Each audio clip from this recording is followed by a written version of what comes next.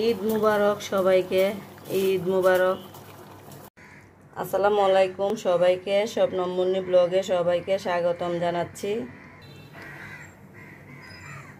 আশা করছি সবাই ভালো আছেন। আমি ঈদের দিনের গুস্ত কীভাবে রান্না করতে হয়, আমি ওই প্রস্তুত প্রণালীটাই নিয়ে আপনাদের মাঝে হাজির হলাম। তো চলেন, এখন আমি ঈদের দিনের গুস্তটা কীভাবে রান্না করি এবং কি কি মশলা দেই, আমি আপনাদেরকে ওই প্রসেসটাই দেখাচ্ছি।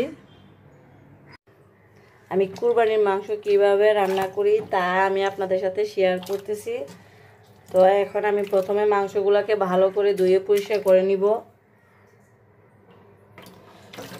আমি প্রথমে সবগুলো মাংস ভালো করে একদম ধুয়ে পরিষ্কার করে নিচ্ছি। এই যে আমি এখানে তুলে রেখে দিচ্ছি।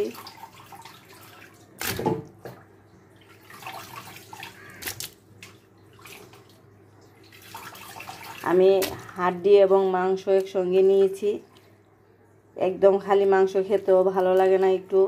এভাবে রান্না করলে ভালো লাগে খেতে।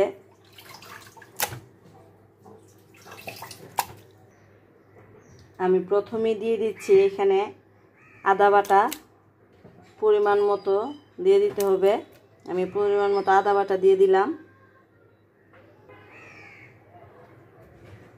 আর দিয়ে দিচ্ছি আমি এখানে পেঁয়াজ, রসুনের পেস্ট।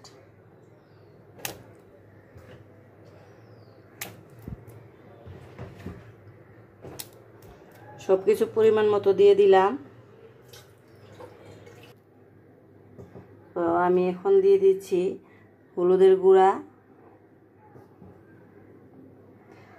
ঈদের দিনের মাংসটা আমি কীভাবে রান্না করি ওইটাই আমি আপনাদের সাথে শেয়ার করছি। আপনাদের যদি ভালো লাগে তাহলে আপনারাও এইভাবে রান্না করতে পারেন। আমি পরিমাণ মতো হলুদের গুঁড়া দিয়ে দিলাম। এখন আমি দিয়ে দিব পরিমাণ মতো মরিচের গুঁড়া।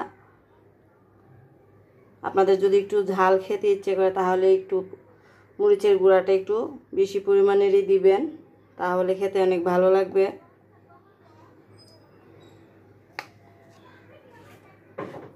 এখন আমি দিয়ে দিব জিরের গুঁড়া।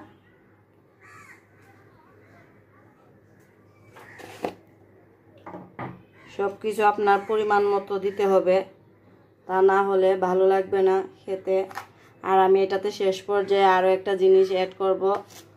ওইটা দেখার জন্য আপনারা আমার ভিডিওটা দেখতে থাকেন।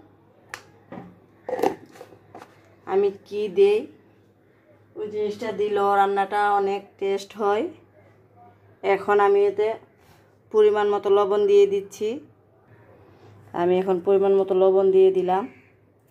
এখন আমি এটাকে ভালো করে হাত দিয়ে মাখিয়ে নিব।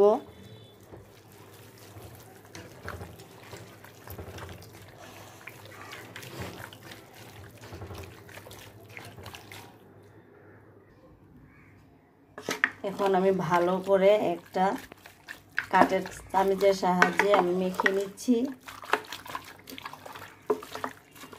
এবং মেখে দেখতে হবে যে কালারটা ঠিক আছে কিনা। আমি ভালো করে মাখিয়ে নিচ্ছি। আর মাংসটা যত ভালো করে ম্যারিনেট করবেন, ততই মাংস তরকারিটা খেতে ভালো লাগবে।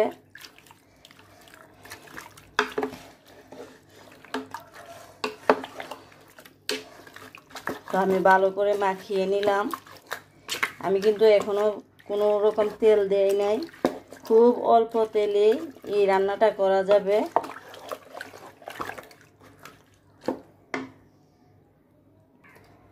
এখন আমি এই পর্যায়ে দিয়ে দিব সরিষার তেল।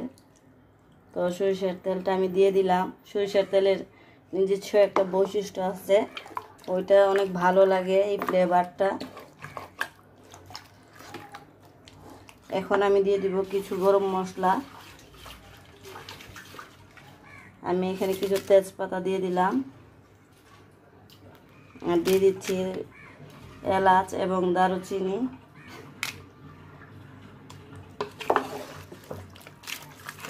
আমি দিয়ে ভালো করে মাখিয়ে নিচ্ছি।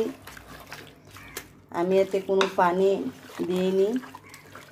মাংসের গায়ে যে পানিটুকু ছিল ওইটা দিয়ে আমি মেরিনেট করে নিয়েছি। আর এখন আমি দিয়ে দিব এক কাপের মতো পেঁয়াজ কুচি।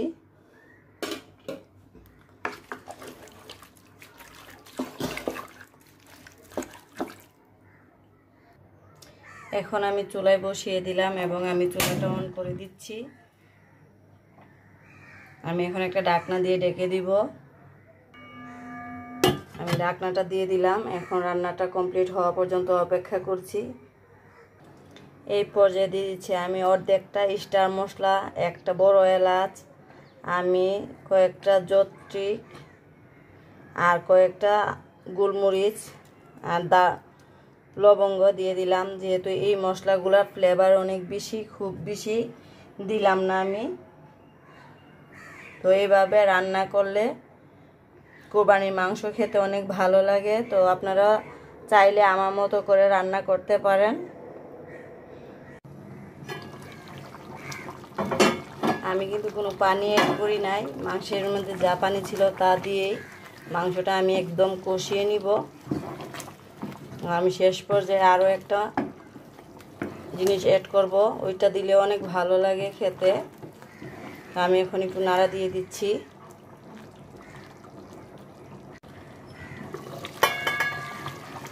আমার মাংসটা মোটামুটি প্রায় কষানো হয়ে গেছে, আমি আরও একটু কষিয়ে নিব। একটু নরম করে নিচ্ছি।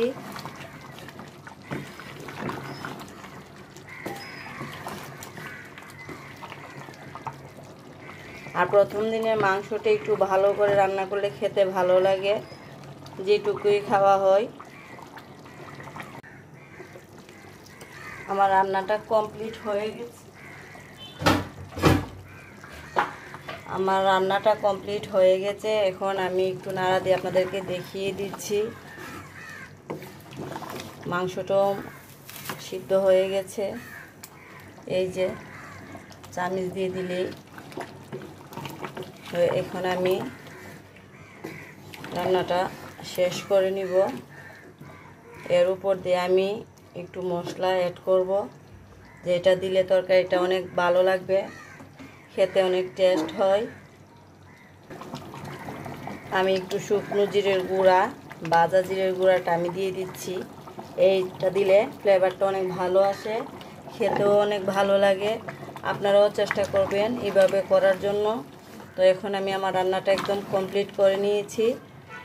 আমার ভিডিওটা যদি ভালো লাগে, সবাই লাইক লাইক কমেন্ট শেয়ার করে আমার পাশে থাকবেন। নতুন কোনো ভিডিও নিয়ে আসা অবধি সবাই ভালো থাকবেন। আজকের মতো আমি এখানেই বিদায় নিচ্ছি। আল্লাহ হাফেজ।